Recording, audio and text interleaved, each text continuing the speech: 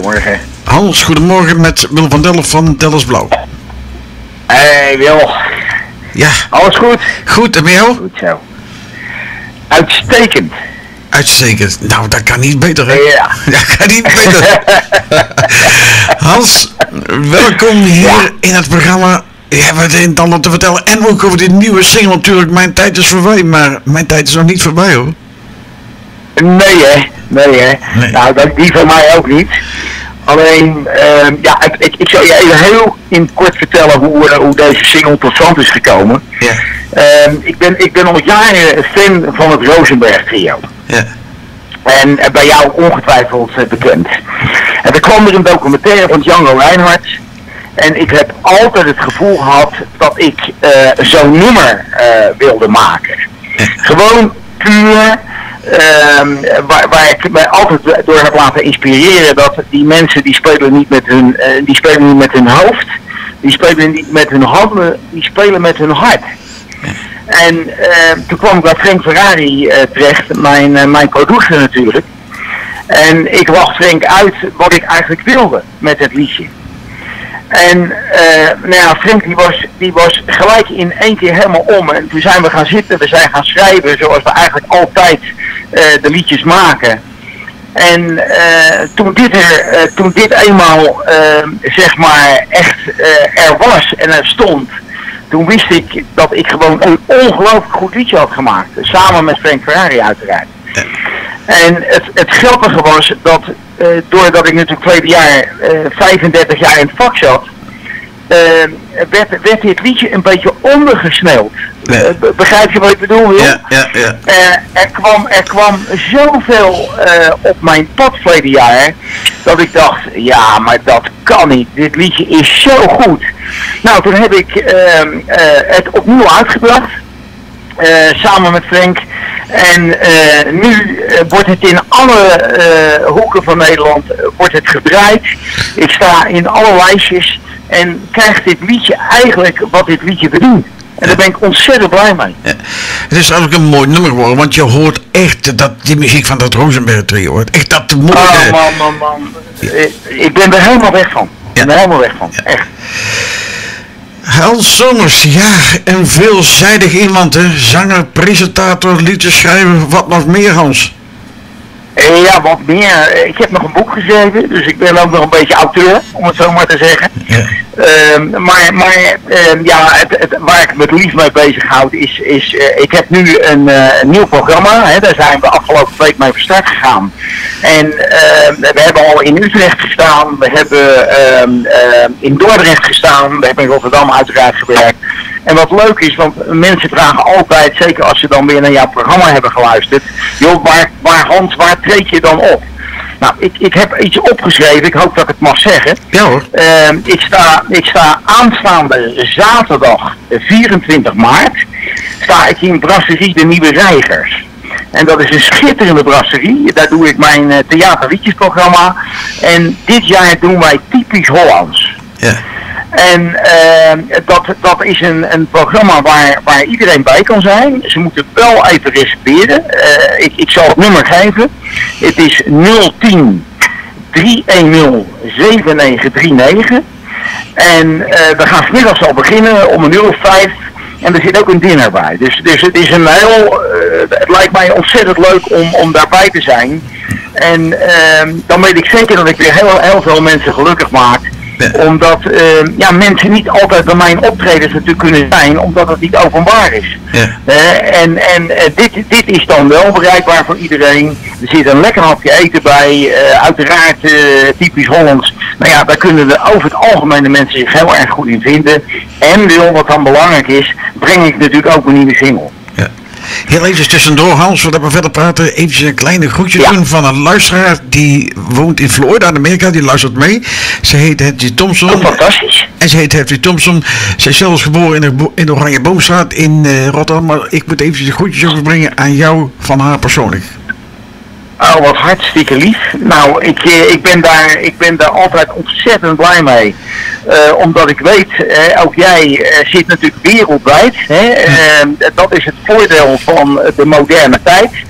Eh, ik, ik, nou, als, als het hier meeluistert, Ehm, uiteraard natuurlijk van mij ook de groetjes en heel erg bedankt. En dan wil ik zeker het, nieuwe liedje ook aan haar opdragen natuurlijk. Oké. Dan heb ik ook eens gelezen dat muzikaal op zoek naar typisch Rotterdam. Wat was dat? Ja, nou ja, dat, is ook een, een, een, programma wat ik maak. Uh, ja, ik ben natuurlijk geboren en getogen achter, de, achter het kappenzaakje van mijn vader, uh, Rotterdammer. En uh, ik heb ook een themaprogramma. En ik doe heel veel uh, kleinschalige theaterprogramma's.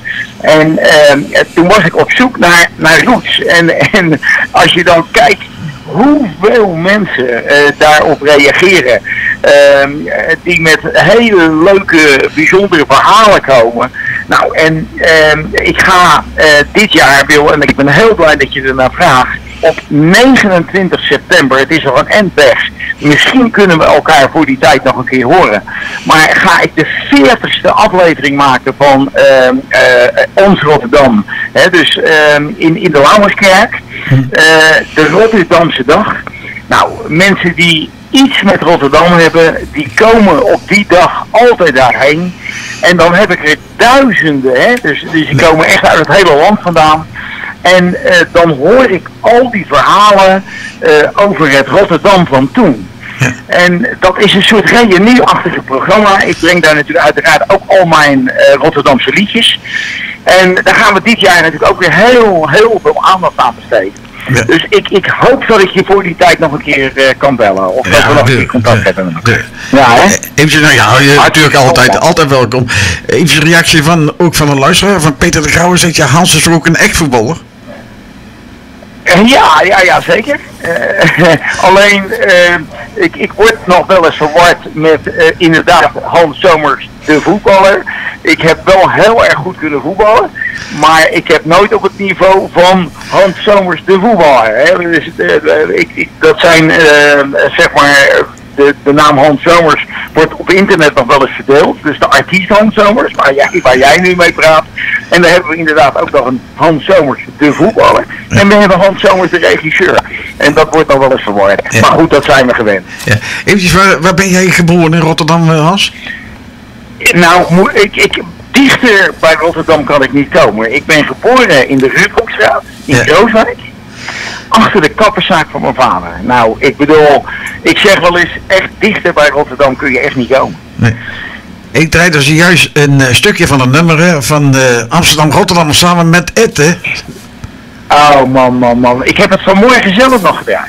Ja? Dat is een liedje. Dat is ook uh, heel leuk, want ik, ik krijg natuurlijk ook heel veel reacties, net als jij, van, vanuit het buitenland vandaan. En met name mensen die weggetrokken zijn, die zoeken natuurlijk vaak dingen op, op internet op, met name op YouTube. En daar staat ook die prachtige clip. En iedere keer weer krijg ik dan reacties daarop van wat is dat toch een ongelooflijk mooi liedje. Nou, ik ben heel blij dat je het weer gedraaid hebt. Fantastisch. Ja.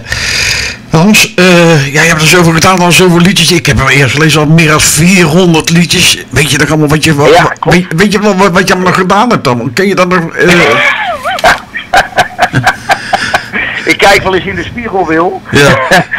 en uh, ja, dan, dan uh, vinden de mensen dat misschien altijd ijdel of zo. Maar zo nu en dan geef ik me gewoon mezelf wel eens een schouderklopje. Uh, weet je, het leuke is dat ik heb ongelooflijk fijne mensen om me heen gehad. Ik heb, ik heb natuurlijk Gabi Deerne. Hij is uh, helaas dit jaar overleden. Uh, ik heb natuurlijk gewerkt met Annie de Reuver. ja, ik, ik zou nog... Kees Corbijn uiteraard. Ik, ik zou... Ik weet niet hoeveel mensen nog op kunnen noemen die iets voor mij hebben betekend in dit vak. En uh, ja, als je, als je dan uh, zeg maar nog steeds eigenlijk zo ongelooflijk veel in het werk hebt zoals ik dus heb. Uh, ja, dan krijg je uiteindelijk toch de waardering die ik iedereen in, in het leven gunt. Hè? Want dat is natuurlijk wel heel belangrijk. Hè? Maar straks is dan, ik, ik, maandag zit ik weer bij Frank Ferrari en dan kan jij, je bent de eerste waar ik het tegen zeg. ook dit jaar komt er weer een nieuwe single uit. Dus sowieso gaan we contact met elkaar houden. En uh, dan gaan we weer keihard aan het werk in de studio. Ja, om, om muziek te maken. En, en jij weet als geen andere, jij draait muziek. Ehm, jij leeft met muziek. Ik, ik weet dat. Ik voel dat ook altijd aan het gesprek dat wij voeren.